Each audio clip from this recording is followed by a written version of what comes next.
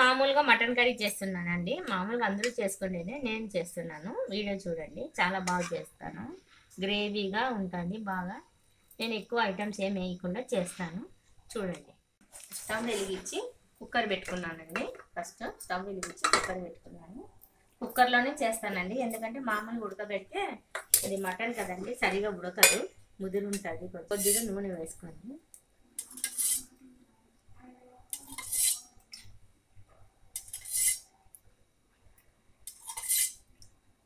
ఐదు స్పూన్లు వేసానండి నూనె. చాలు. నూనె వేడెక్కాక ఇవి రెండు ఉల్లిపాయలండి. పెద్ద సైజువి రెండు ఉల్లిపాయలు కట్ చేసి పెట్టుకున్నాను. కొంచెం ఉల్లిపాయలు ఎక్కువ వేస్తే బాగుంటుందని కట్ చేస్తాను. కట్ చేసి పెట్టుకున్నాను. ఇంకా నూనె కాగింది మనం ఉల్లిపాయలు వేసామని ఇంకా ఉల్లిపాయ కా నూనె కాగలేదు వేడెక్కిందండి. నూనె ఉల్లిపాయలు వేస్తున్నాను.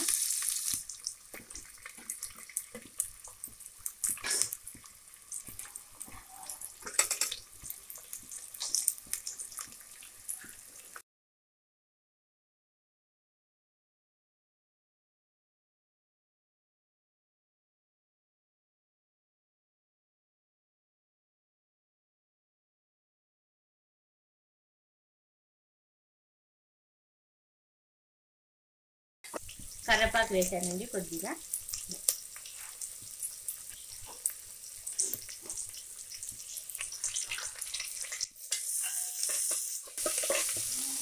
కరివేపాకు వేసాను బాగా వేగుతుంది. ఉల్లిగడ్డ కొద్దిగా వేగిన తర్వాత పచ్చివాసన పోయిన తర్వాత మనం మటన్ వేద్దామండి. వేగాయి. ఇప్పుడు మనము అల్లం వెల్లుల్లి పేస్ట్ వేస్తున్నాము ఇంకా దంచి పెట్టుకున్నానండి అప్పటికప్పుడే. అన్ని ఫ్రెష్ వేసుకుంటే మనకి మంచి వాసన ఉంటుందండి. ఇది కొంచెం పచ్చి వాసన పోయే వరకు వేసుకుందాము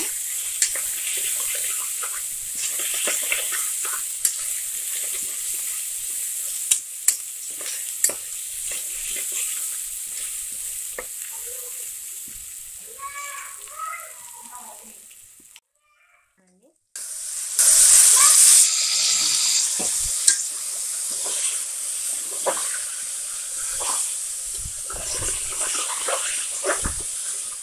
కలుపుకొని అంతా కొద్దిగా ఉప్పు వేసి ఉడకబెడదామండి. సాల్ట్ వేసి తర్వాత ఐటమ్స్ అలా వేస్తాను.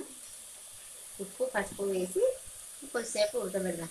ఉప్పు దీనికి సరిపడినంత వేసుకున్నాము. రెండు మూడు స్పూన్లు వేసానండి. కొద్దిగా పసుపు. పసుపు.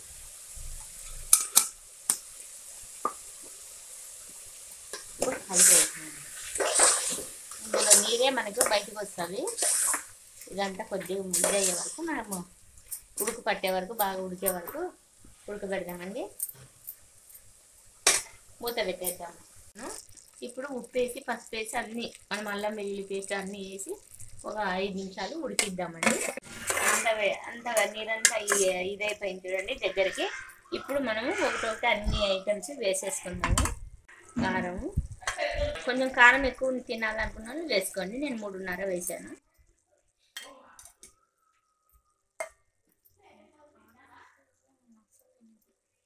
ధనియాల పొడి. రెండు స్పూన్ల ధనియాల పొడి అండి. రెండున్నర. నాది చిన్న స్పూన్ కదా రెండున్నర వేసాను. కొంచెం కొబ్బరి పొడి అండి. ఒక స్పూన్ వేసాను. చాలు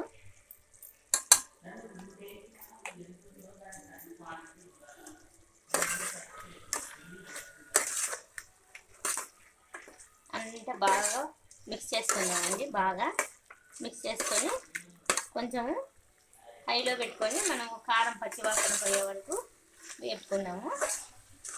ఇదంతా పచ్చివాసన పోతుంది. పచ్చివాసన పోయే వరకు వేపేసుకున్నాము అంతా కలిసాను పచ్చివాసన పోయింది. ఇప్పుడు టమాటా ఒక మూ- రెండు టమాటాలు కట్ చేసి పెట్టుకున్నానండి చిన్న సైజే ఇవి వేస్తున్నాను.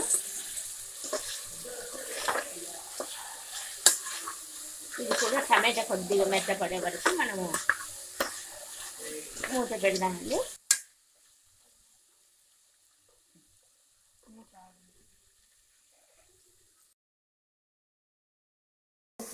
టమాటాలు అన్నీ మెత్తబడినాయండి. కొంచెం మెత్తబడితే చాలు ఉడికిపోతుంది.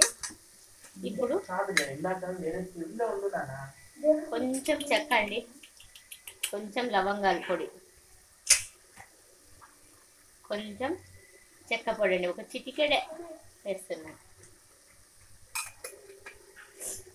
అంత బాగా దగ్గరికి అయిపోయినాయి అన్ని మసాలాలు అంతా బాగా వేగిపోయాయి.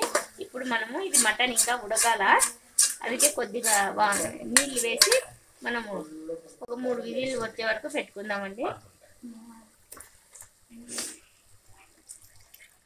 నీళ్ళు వేస్తున్నాను. మనకు గ్రేవీ కావాలి కదండి అందుకే నీళ్ళు వేస్తున్నాను.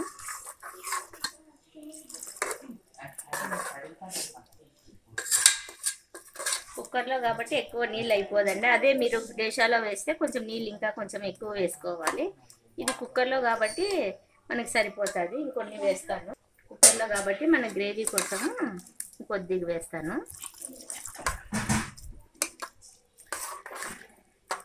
కొద్దిగా వేస్తాను. చాలండి. ఇంకా మనం మూత పెట్టేసేసి కొత్తిమీర వేసి మూత పెట్టేస్తాము. ఐదు మూడు నాలుగు విజిల్లు వచ్చిన తర్వాత ఆపేద్దామండి. ఇదండి కొత్తిమీర వేస్తున్నాను ఇప్పుడు. కొత్తిమీర వేసి మనము కుక్కర్ మూత పెట్టేసేసి మూడు విజిల్లు వచ్చినాక ఆపేసుకుందాము. దీనిలో సగం ఉడికింది కదండి ఇప్పుడు మనం మసాలాలంతా వేసిన దానికి మూడు విజిల్స్ పెడితే మనకి పర్ఫెక్ట్గా ఉడికిపోతుందండి ఇది. కుక్కర్ పెట్టి మూత పెట్టేస్తున్నాను వేడి పెడుతున్నాను. మూడు విజిల్లు వచ్చినాక ఆపేస్తామండి.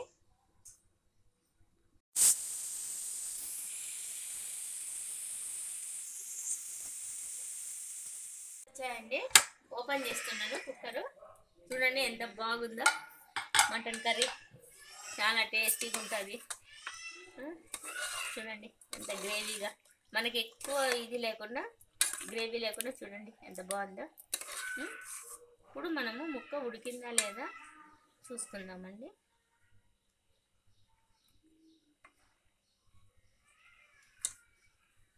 ఇట్లా పట్టి చూస్తే ఉడికిపోయింది చూడండి. ఇదంతా మనము డిష్లోకి మార్చుకుందాము.